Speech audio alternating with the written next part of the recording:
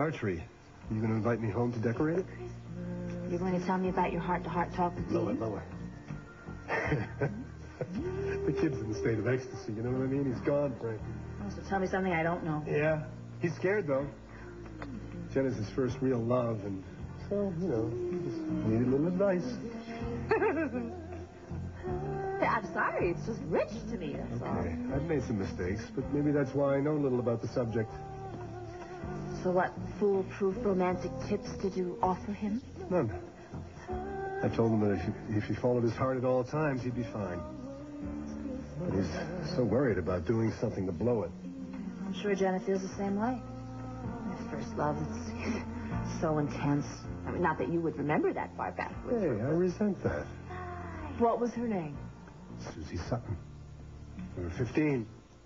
Her family had just moved into town. She sat next to me in, a, in algebra class. I got my first D in algebra, compliments of Suzy. But I learned all about falling wham, bang, madly in love. Like a house fell on my head. I was never the same after that. I am impressed, Winthrop. Yeah? Yeah, maybe you can empathize with Dean after all. I didn't have to go all the way back to Suzy do that. I'm crazy in love right now. Like three houses fell on my head. What else did you tell him? Oh, I don't remember. It was profound, I'm sure.